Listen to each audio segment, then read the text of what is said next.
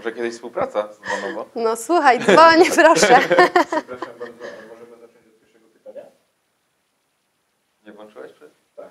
tak. Że włączyłem, a chyba nie włączyłem. A teraz już jest włączone. Dobrze, Jarku. Przepraszam. Nie szkodzi. Powiem coś innego. Teraz powiem, że tak. Zmieniłam zdanie. Ale na to jest nagrane.